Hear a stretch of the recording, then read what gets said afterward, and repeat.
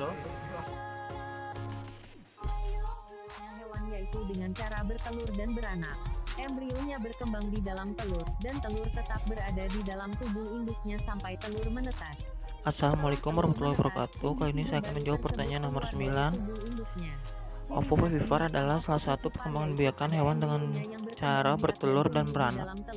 Embrionya berkembang dalam telur dan telur tetap akan berada di dalam induknya sampai telur itu menetas. Setelah menetas, individu baru akan keluar dari tubuh induknya.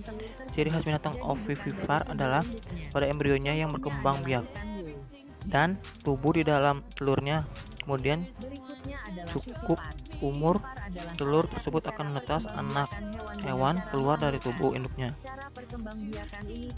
Cadangan makanan mak cadangan makanan yang diperoleh embrio berasal dari dalam telur tersebut.